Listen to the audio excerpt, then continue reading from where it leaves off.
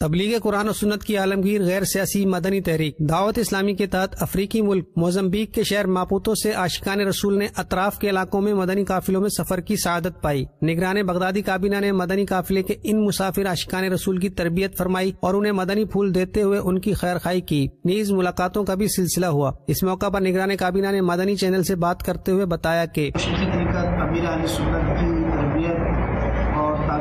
الحمد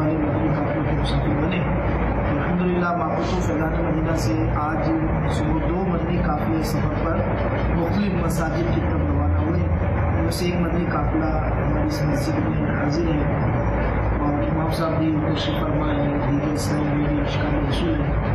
اور یہی مقصد ہے کہ تعلیم قرآن عام ہو جائے، ہر ایک پرچم سے اونچا پرچم اسلام ہو اور مدنی قافلوں میں سفر کر کے اپنی اور ساری دنیا کے لوگوں کی اصلاح کوشش کا جذبہ بھی سفر کیجیے، ہم بھی سفر کریں گے۔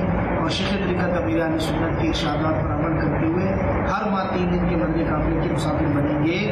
انشاءاللہ۔